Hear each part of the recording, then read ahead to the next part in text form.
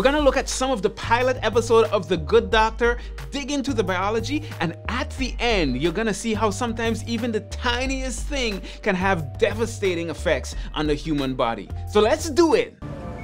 It changed. They're in the ambulance. The boy's ECG changed. It's the same. 86 BPM. No, it used to be higher. No, it used to be 86. It's still 86. It used to come up to here. He knows what he's talking Lower about. amplitude means lower voltage. Lower amplitude means lower voltage. What's going on? What does it mean? It means he's trying to read 20-year-old equipment while traveling in a vehicle going 40 miles an hour.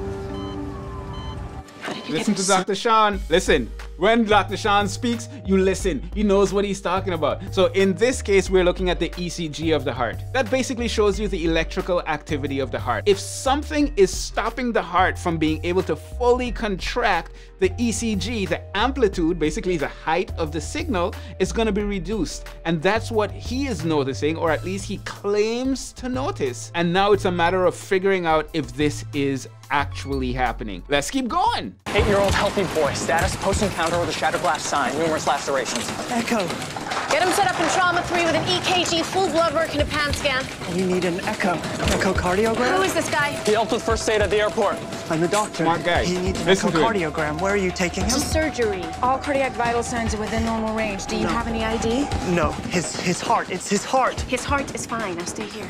How you how you know his heart is fine? You don't know anything. You just saw the dude. Anyhow, here's what's going on. As I mentioned, he noticed that decrease in amplitude. He thinks something is wrong with the heart. He's asking for an echo. An echocardiogram is basically an ultrasound of the heart so that you can visualize the heart to see if there are any abnormalities, any structural abnormalities, or if anything is wrong with the physical structure of the heart. So he's saying, do an echo because he thinks something's wrong. Let's figure out if there's something wrong. Hint, Dr. Shaun is often right.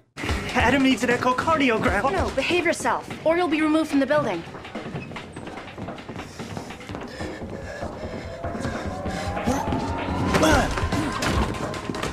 I love how he just wants to help.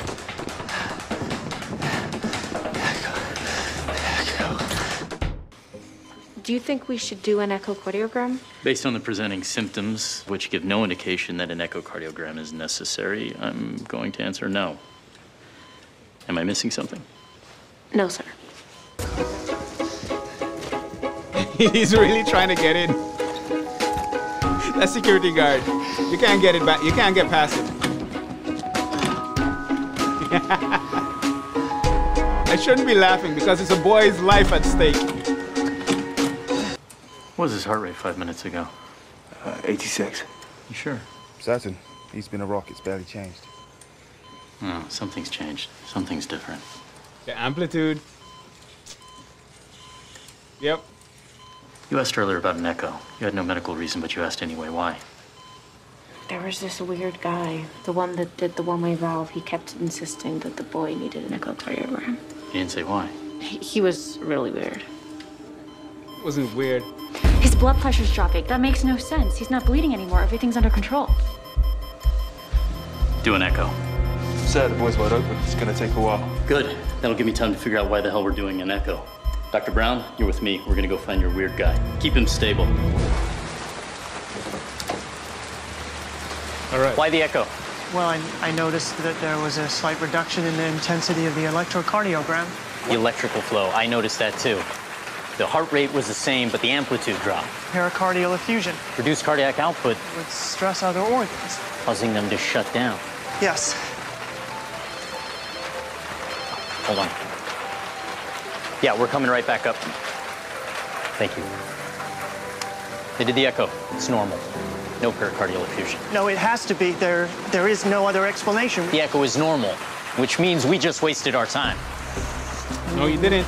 No. Okay, let's explain what's going on so far. They did an echo because something is going on. He noticed the amplitude drop. And he's suggesting that it may be a pericardial effusion. If we look at the structure of the heart, the heart also is inside of a sac, and we call that the pericardial sac. And if something happens where there's a buildup of fluid inside that pericardial sac, that's gonna put pressure on the heart. And if you put pressure on the heart, Now the heart can't expand fully. And with that increased pressure on the heart, the heart is gonna be less efficient at pumping. And if the heart is less efficient at pumping, the signals that are going to the ECG or the EKG, it's not gonna be as strong. You're gonna have a lower amplitude. Let's see how it turns out.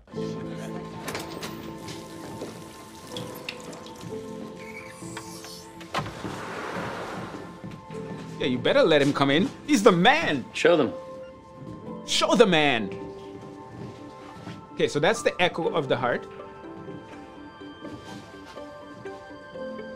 You can see the, Again? the chambers. You can see the valves. Again. Again. There. Looks normal to me. it's not normal. There's a concave deformity in the right atrium. Um, no, there's not. yes, yes, there is. It's very subtle. Even if you are right, that's not where a pericardial effusion manifests. Not usually. But it, it could. This kid was sprayed with glass shards, cut his jugular. What if a piece of glass entered his bloodstream? It could have traveled down the jugular vein, into the brachiocephalic vein, and onto the superior vena cava. If it punctured the SVC, blood could be leaking behind the heart, restricting the heart's ability to expand and fill during diastole, reducing the heart's efficiency. Lord of ifs there.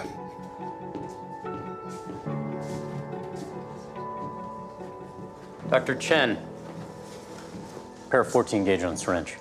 All right, let's explain that. We have to talk a little more about the venous drainage of the head. We spoke about the internal and the external jugular veins. The deoxygenated blood in the external jugular vein then drains into the subclavian vein. Subclavian means under the clavicle. This vein travels under the clavicle. The internal jugular vein then joins with that subclavian vein to form the brachiocephalic vein. And that brachiocephalic vein goes into the superior vena cava, which then takes the blood right back to the right atrium of the heart. You're learning about your blood vessels. I love it. What she's suggesting is that a piece of glass went into maybe the internal jugular vein and then got through that brachiocephalic vein into the superior vena cava, punctured it, and then that is causing blood to leak out into the pericardial sac, leading to the problem that we spoke about before, a pericardial effusion. And as the other bold guy mentioned, that's a lot of ifs,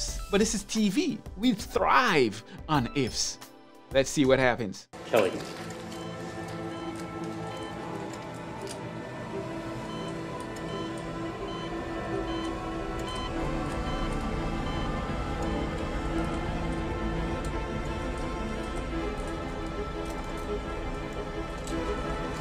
Dr. Browne? there it is. You were right. He was right. Dr. Shaun was right. Come on. What you know about Dr. Shaun?